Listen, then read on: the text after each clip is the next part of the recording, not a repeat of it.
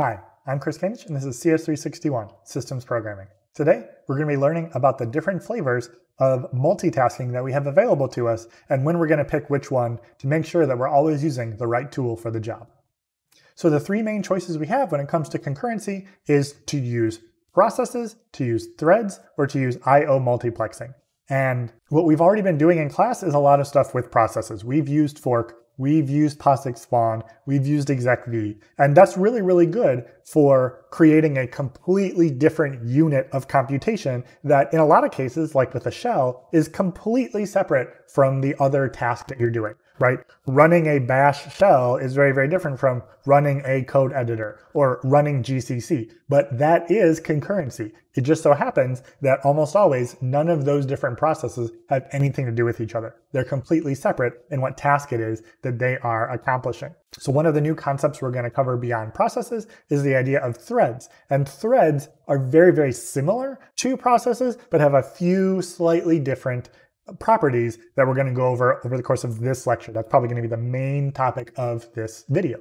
Uh, and finally, uh, as just a little bit of a preview for the next video, there's also I.O. multiplexing. And this is what we're using for our web chat assignment right now, where we're saying, listen, operating system, I'm really happy for you. You're really good at doing this multitasking thing, but I've got to go fast. I've got to go as fast as I possibly can to handle all these different clients that are coming and asking me to chat with each other. I can't wait for you to use your process abstraction or your thread abstraction to get the job done for me. I need to get it done myself as fast as I can. So as we look through these three different options, there's kind of a continuum from one side to the other in terms of which one is good for which job and what properties does it provide to us. So over on this side, we have a lot of isolation between the different tasks. Like I said, it's really, really good for completely separate tasks that say get spawned by a shell because they're perfectly isolated by the operating system.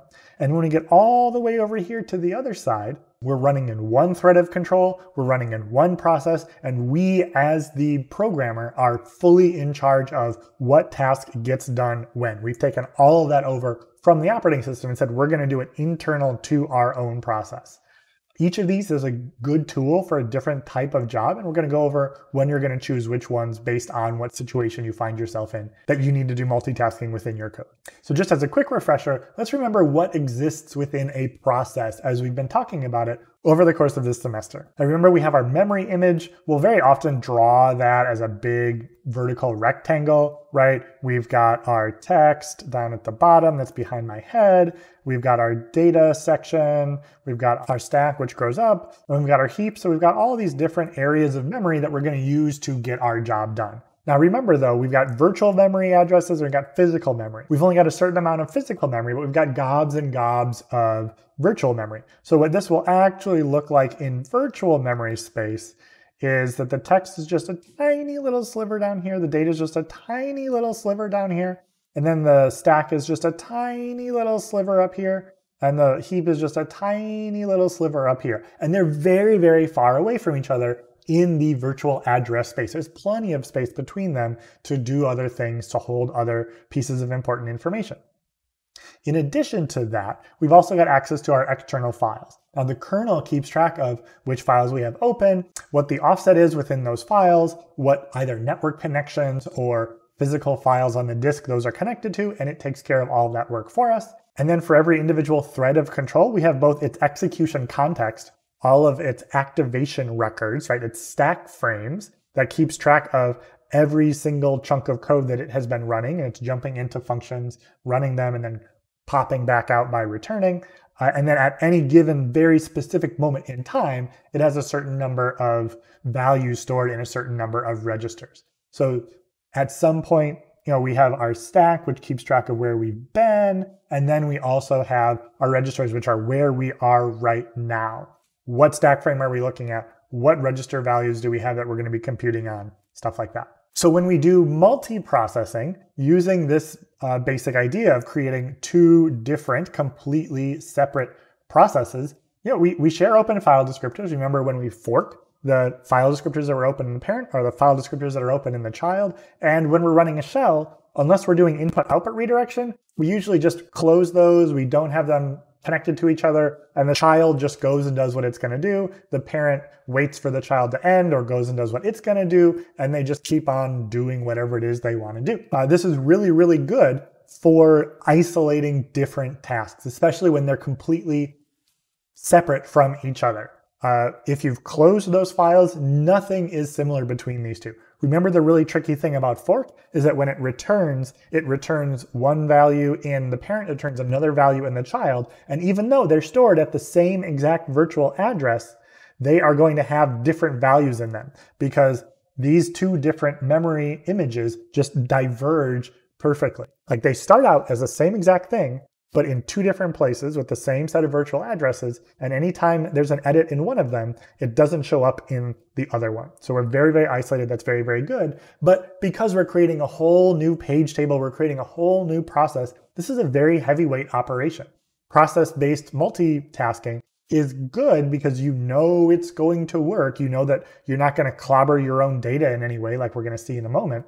But it's also very, very heavyweight. It takes a lot more time for the operating system to create a new process than it would take the operating system to, say, create a new thread. So now let's talk about threads. So this whole entire time we've been talking about processes and processes are a very good abstraction to think about the different resources available to your running code. A process uh, as we've been thinking about it, is a thing that gets put onto the CPU. It does the operations that it needs to do. But in actuality, when Linux is actually saying, I'm going to run this one or I'm going to run this one, or Windows is saying, I'm going to run this one versus I'm going to run that one, it's actually choosing between different threads of control. And what we, we're, we're going to learn in this specific subsection is that each individual process is kind of just a holding ground for one or more threads of control. What we've been thinking so far is that we have one process and that has one stack and it has one set of register values and it gets its job done. But in actuality, we can have lots of different uh, threads of control within the same process, and all of them will have their own individual stack, and all of them will be able to run independent of each other.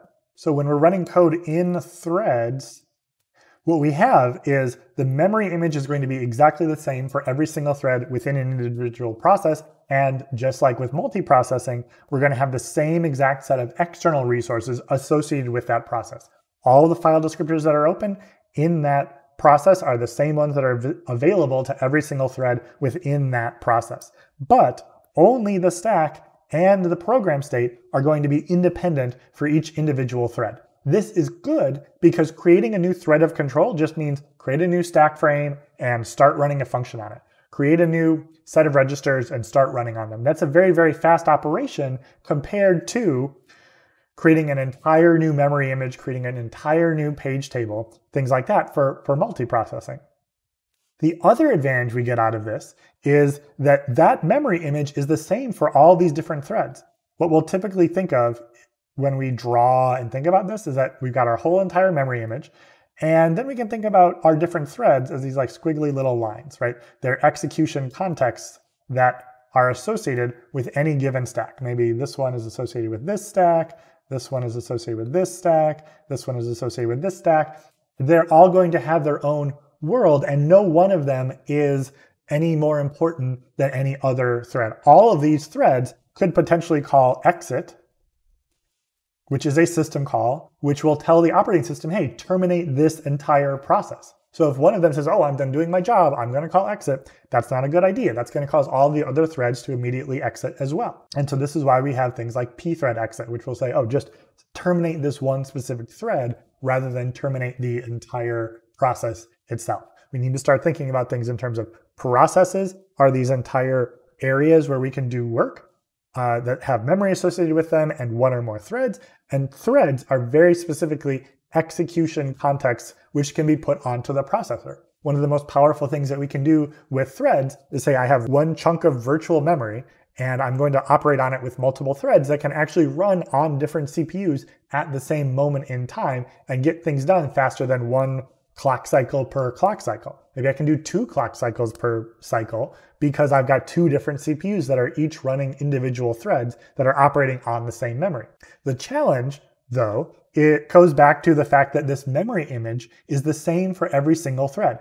If I have a pointer to a global variable down there in my data section and I wipe it out because I'm done using it in thread number one, every single other thread is going to see that same operation done within their own memory because it's the same exact memory. They don't have their own copy on write duplication of that memory like we do in process world. They all share the same memory. This becomes even nastier if you start trying to pass values to other functions on their stack, right? If I have a stack local variable and I tell the operating system, hey, create a new function and I'm going to pass in a pointer to a stack local variable I have within my stack. Then all of a sudden you've got a pointer going from one thread stack to another thread stack, and it's very likely that you are going to completely mess up the way that your program runs because you don't know what the lifetime is going to be of that individual piece of memory.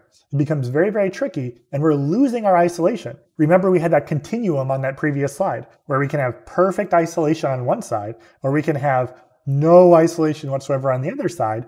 In Threadland, we're kind of in the middle. We get a good amount of isolation. We can run our own threads with our own local variables, and we can even do things like malloc an individual chunk of memory, and nobody else is going to have access to it unless they accidentally run into it. And we can have a relatively lightweight mechanism at the same time as having some, but not a whole lot, of isolation between the two. So this is the best of both worlds for specific use cases, but it's not always going to be the best thing you can possibly do. So just to go into a few of those nitty gritty details of how we're going to be using these things, processes, we create new ones either using POSIX spawn or using fork. We can wait for them to finish by calling waitpid.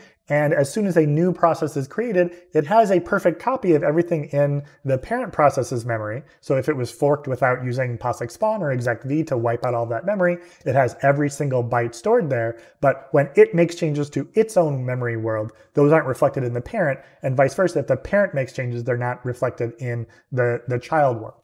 Uh, if so, if they do want to communicate with each other, they need to have some way to do so. Uh, the most straightforward way to do that, I think they go over in the book a little bit, where you need a file descriptor to read and write between the two. Because we know that file descriptors are shared between parents and children, we know that we can create a pipe like we do in the shell example, but rather than using it to communicate between one process and another process using standard in and standard out, we can just write directly to the right end of that pipe in the parent and then read out of it in the read end in the child, and that allows them to work together. But if they don't choose to do that, they're not going to have any real way to interoperate. There are also a few other coordination mechanisms they can use. We can actually ask the operating system, hey, I'm going to ask you for some memory using that mmap function, but I want you to make sure that even if I fork myself, there's still only one copy of that memory. So then it becomes explicitly shared memory between the parent and the child, and you can do whatever coordination you need to do to make sure that they can both read from and write to that memory without clobbering each other's reads and writes. On the other hand, we can use threads, and there it's going to be a little bit similar, where with processes, we were creating entire new programs, like with execv, we were saying take this program from the disk and run the entire thing. With threads, we're not creating a whole new program. All we're doing is creating a new execution context. And if we think about how programming works, an execution context can kind of be created by calling a function. Like typically, you know, we have a main function, that function calls another function, that function calls another function. Uh, but what we can do here instead is, so what we can do here is we can draw kind of like here is our memory that we're going to use for our stack. And here is the activation record of main. And main is going to call work one. And work one is going to call printf. And printf does its thing. And then maybe you return from printf, you go back to doing things in work one, stuff like that. That is how you operate in regular coding. What we can do here is we can say, oh, well, I'm going to create a whole new stack. And if I am in this work one function, and in work one, I call pthread create, rather than that being a function that creates another uh, activation record on this stack, what pthread create is going to do is it's going to say, hey, operating system, rather than creating a new stack frame on this stack, what I want you to do is create a completely separate activation record where whatever function is called via pthread create like work two or something like that, starts here. Kind of like main's at the bottom of the stack, and when you return from main, you're done.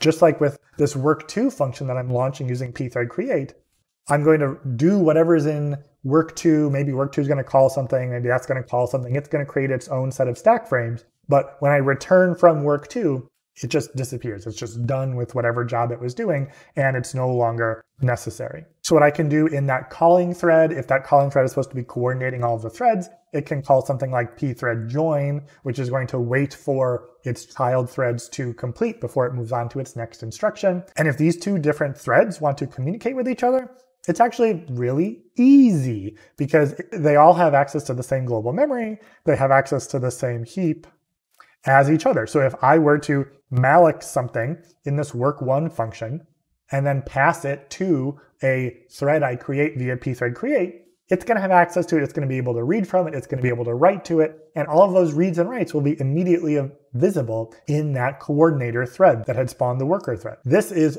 much, much easier than explicitly saying, this is what I'm going to share, and this is what I'm going to share, and this is what I'm going to share in the process model. But it's also a lot more dangerous, right? It's shared there. And if you don't make sure that you leave it in a consistent state whenever you are done using it, and you don't say, hey, I'm going to start modifying this memory I'm going to put it in an inconsistent state while I'm copying things around and fixing things up. And then when I'm finished with it, other people can get it. I need to have some mechanism for locking. And that's what we're going to see next week in order to kind of protect our memory from being edited in a way that we don't expect or a way that would cause our program to work incorrectly. So at a high level, if we're thinking about when do we want to use processes, when do we want to use threads, here's how we're going to make that decision. Processes are best suited to completely separate tasks because they have this very high level of isolation provided by the operating system. Nothing is shared between the parent and the child unless you choose it or if it's a file descriptor.